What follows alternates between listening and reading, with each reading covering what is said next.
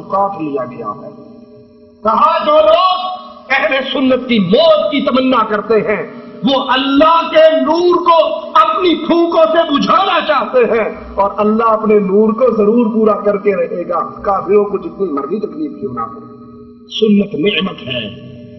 سنت مطلق نعمت ہے، جو ہمیشہ کے لیے سعادت کا باعث بنتی ہے۔ جیسے اسلام کی نعمت، سنت کی نعمت، دنیا و آخرت میں عافیت کی نعمت، ان تین چیزوں پر دنیا و آخرت کی کامیابی ہے۔ تو سنت بہت بڑی نعمت ہے، مبارک ہو اس کو، جس کے عمل میں سنت مصطفیٰ آ جائے۔ صلی اللہ علیہ وسلم۔ جو اہل سنت کے راستے پہ چلتا ہے، صحابہ کے راستے پہ چلتا ہے، وہ بڑے عظیم بڑے عظیم پڑوس میں رہنے والا ہے۔ قرآن حکیم سنیے، وَمَن يُتِعِ اللَّهَ وَالرَّسُولِ، جو اطاعت کرے اللہ کی اور اس کے رسول کی، فَأُولَئِكَ مَعَ الَّذِينَ أَنْعَمَ اللَّهُ عَلَيْهِمْ، یہ ان لوگوں کے ساتھ ہوگا جن پر اللہ کا انعام ہوا، اور وہ کون ہے؟ من النبیین نبیوں کے ساتھ والصدیقین صدیقین کے ساتھ، وہ شہداء شہیدوں کے ساتھ، وہ صالحین نیک لوگوں کے ساتھ، وہ حسن اولئک رفیقہ اور اس سے بہتر پڑوس اور کون سا ہو سکتا ہے؟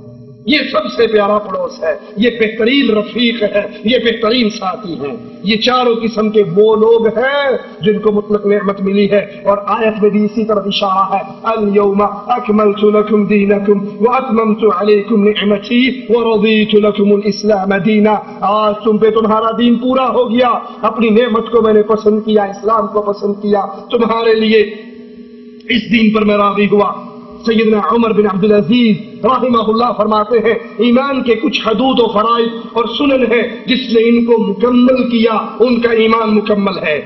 اسلام اور سنت کی نعمت وہ عظیم نعمت ہے جو خاص مومنوں کے لیے ہے۔ اسلام اور سنت کی نعمت خاص اہل ایمان اور مومنوں کے لیے ہے۔ اور اس سنت کی نعمت پر خوشی کا اظہار بھی ہونا چاہیے۔ قرآن حکیم کی آیت میں غور کیجیے۔ قل بفضل اللہ وبرحمته فبذلك فليفرحوا هو خير مما يجمعون آپ کہہ دیجیے، بس لوگوں کو اللہ کے اس انعام اور رحمت پر خوش ہونا چاہیے۔ وہ اس سے بدل جہاں بہتر ہے، جس کو لوگ جمع کرتے ہیں۔ صلف صالحین فرماتے ہیں، اس آیت میں فضل، اللہ کا فضل اور اللہ کی رحمت سے مراد اسلام اور سنت ہے۔ اسلام اور سنت کی محبت جتنی زیادہ دلوں میں اترے گی، اتنی زیادہ انسان کو خوشیاں ملے گی، اتنا غم اور دکھ ختم ہوگا، خوف امن میں بدلے گا۔ سنت کا مقام اپنے سامنے رکھیے۔ اللہ کا وہ مضبوط قلعہ ہے یہ سنت جو اس کے اندر داخل ہوا، وہ امن میں آ گیا، وہ اس باب اعظم میں داخل ہوا جس میں داخل ہونے کے بعد انسان اللہ تک پہنچ جاتا ہے۔ سنت کی روشنی قیامت کے چہروں کو منور کرنے کا سبب بنے گی۔ قرآن حکیم کی آیت پہ غور کیجیے، یوم تبیض وجوہ و تسود وجوہ قیامت کے دن کچھ لوگوں کے چہرے روشن ہوں گے۔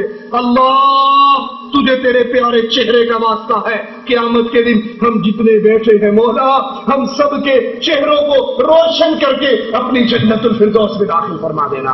ہمیں ان بد نصیبوں میں شامل نہ کرنا جن کے چہرے سیاہ ہونے کے بعد جن کو جہنم کا ایندھن بنا دیا جائے گا۔ اپنی رحمت سے، اپنے فضل سے، اپنے کرم سے ہم گناہوں میں لپٹے ہوئے پاپی ہیں مولا، لیکن تیری توحید کو مانتے ہیں، تیرے مصطفیٰ کی سنت کو مانتے ہیں۔ ہمارے چہروں کو روشن فرمانا۔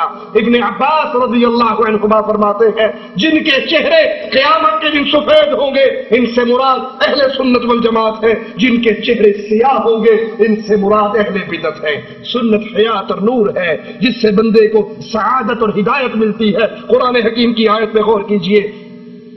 أَوَمَنْ كَانَ مَيْتًا فَأَحْيَيْنَاهُ وَجَعَلْنَا لَهُ نُورًا يَمْشِي بِهِ فِي النَّاسِ اللہ اکبر، اس آیت کو سنیے، اس کے ترجمے کو اپنے دل میں اتاریے اور پھر مبارک ہو تم کو جنہوں نے سنت کے نور سے اپنے ایمان، عقیدے کو روشن کر رکھا ہے۔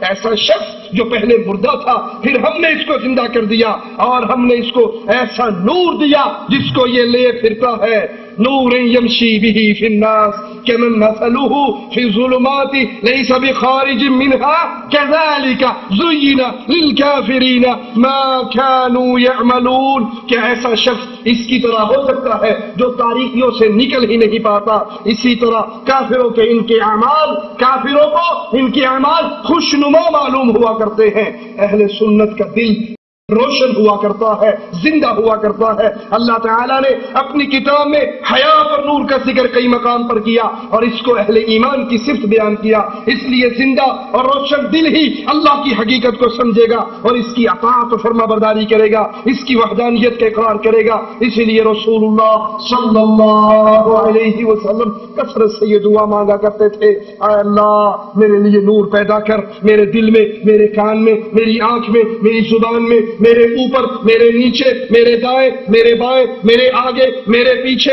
اللہ نور پیدا کر، میری ذات کو نور بنا اور نور پیدا کر میرے چمڑے میں، میرے گوشت میں، میرے خون میں، میری ہڈی میں۔ اس طرح آپ اپنی ذات کے لیے، اپنے ہوا سے ظاہرہ اور باطنہ کے لیے اور اپنے اندر کے لیے نور کا مطالبہ کرتے تو اس نور سے مراد نور ہدایت محمد رسول اللہ صلی اللہ علیہ وسلم بشر تھے، لیکن نور ہدایت بن کر آئے۔ نور ہدایت بن کر آئے، کفر کے سارے اندھیرے آپ کے نور ہدایت سے چھٹ گئے اور پوری دنیا میں توحید کا نور چمک اٹھا۔ اہل سنت کی علامتیں اپنے سامنے رکھیے۔ اہل سنت وہ لوگ ہوتے ہیں جو کتاب و سنت کو مضبوطی سے پکڑ رکھے۔